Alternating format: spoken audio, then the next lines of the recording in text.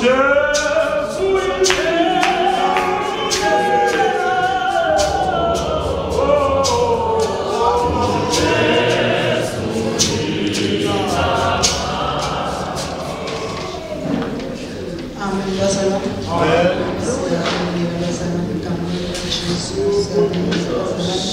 Bazalwane. Eh baba wethu noma ngabe khona phakathi kwethu egameni likaJesu. um sibingelele bazalwane amabhishobhu wonke abafundisi kanye nje nabapha- abaholi bonke bazalwane ngokushiyana kwey'gaba zey'khundla zabo egameni likaJesu. um sibingelele bazalwane upresident ubamgoje egameni likaJesu. um sibingelele kanye yonke bazalwane kanye ney'hambeli zethu egameni likaJesu siyathoba. Siyawubonga nje umsebenzi wonkulunkulu asewufezile kule ndawo egameni likaJesu umoya ongcwele siyawuzwa. Eh sofunda bazalwane ngabe sesimosha isikhathi encwadini kaMathewu.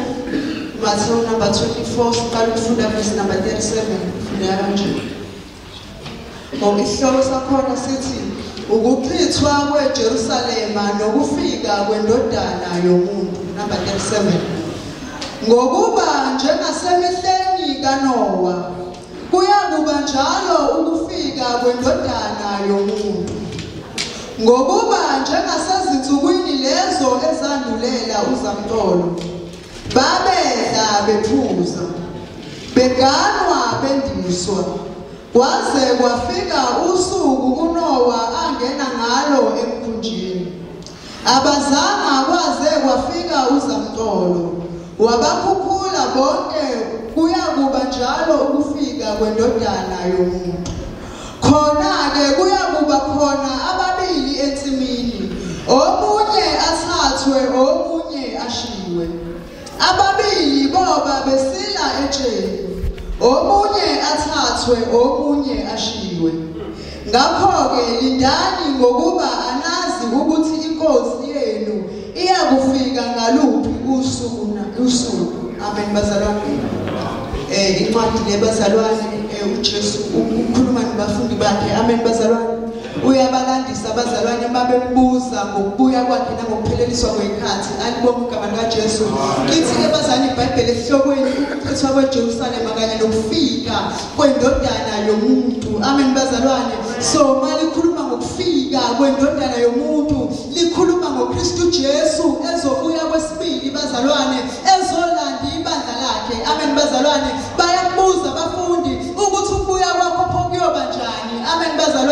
sobayaqala ukubalandisa. Uthi yazini ukuthi kuyoba khona izimpi namahebuhebu ezimpi amen bazalwane? Kube khona omunye ovukela omncane nomncane avukela omdala kanjalo. Uthi kodwa konke lokho kuyobe kungakabo ukuthi sekufikile ukuphela kodwa kuyobe kusayihele nje bazalwane. Amen bazalwane. Okukhombisa ukuthi izigi seyiyaqala noma seyiyasondela ukuthi impela indodana yomuntu isizobuya alibongwe igama likajesu. So lapho kuqala khona ukufunda number 37 lithi iBhayibheli njengasemhleni leyo eyandulelayo amen bazalwane eyinsukwini kaNowa lithi kuyoba njalo ukufika kwendodana yomuntu amen bazalwane bese leyikhazi insuku kaNowa lithi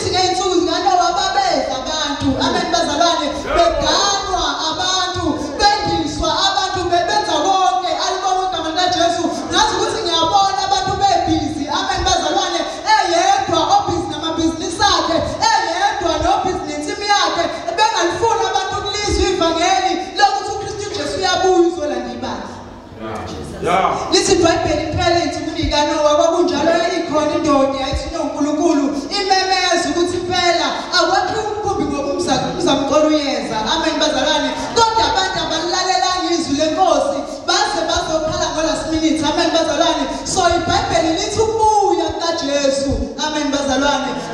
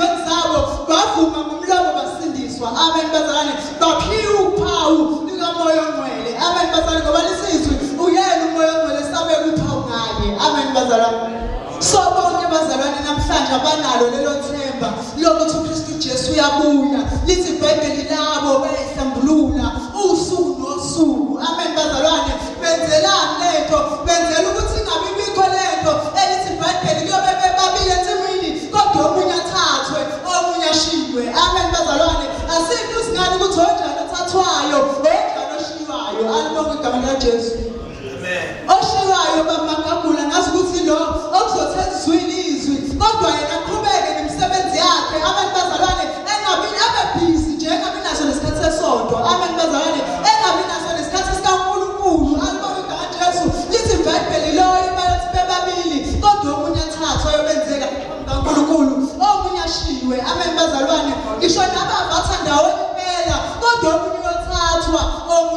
way. I make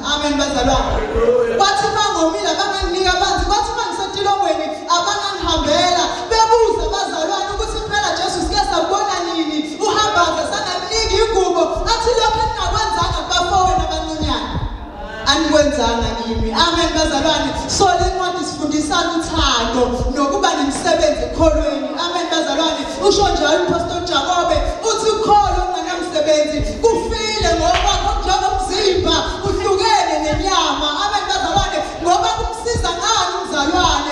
Uma elambile sola ukudla eswini uthi hamba ufudumale. Ukholo kungenayo umsebenzi. Kwenza ukuthi omunye athathwe omunye ashiywe sikhonza nawo nesivathile ugreen kodwa omunye athathe omunye ashiye ngizothi bazalwane uKristu Jesu uyabuya. Lokho nje ngizokusho uKristu Jesu uyabuya. Iloyo naloyo bazalwane nethemba kuye. Akayihlambulule usuku nosuku. Amen bazalwane ngiyabethemba